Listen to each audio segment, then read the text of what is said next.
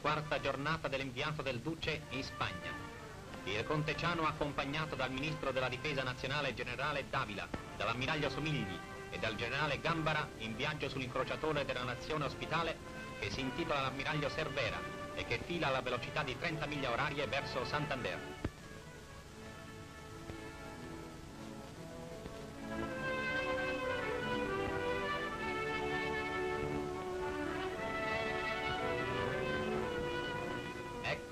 Nell'ampia baia, la città vinta e liberata dai legionari che ha mandato incontro all'ospite le principali autorità cittadine.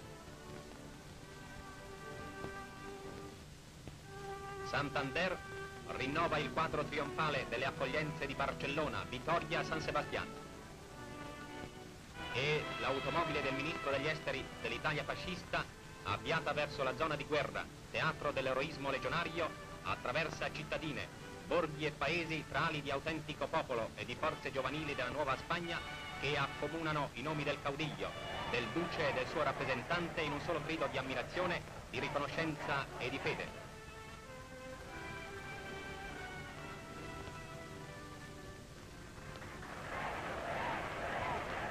Passando tra questo popolo inequivocabilmente grato, il Conteciano raggiunge il cimitero di Entrambas Mestas, dove compiere la prima sosta devota del suo pellegrinaggio sulla terra bagnata dal sangue legionario. Sono poche le salme nel piccolo recinto, ma sul posto era soltanto un pugno di eroi che si buttavano all'assalto con centuplicato valore.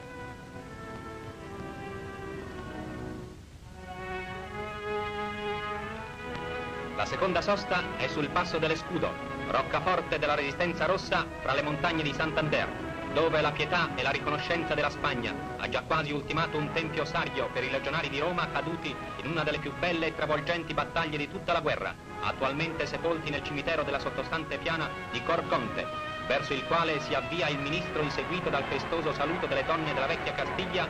pittoresche nei loro costumi, delle camicie nere della zona e di tutto il popolo della montagna.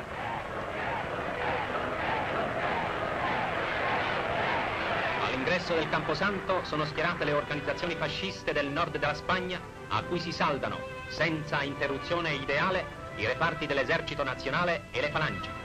Dinanzi alla croce che domina altissima le umili tombe gloriose, la benedizione del cappellano militare e l'appello fascista del Conteciano consacrano l'immortalità degli eroi caduti per la causa della civiltà che da Cristo e da Roma prende nome. La cerimonia si ripete nel piccolo cimitero di Espinosa, dove riposano gli aviatori spagnoli caduti in questa zona. E anche qui, come in tutto il pellegrinaggio ai sacrari della gloria, sono a fianco al Conteciano il ministro della difesa nazionale, generale Davila, il governatore di Santander, marchese di Aliseda,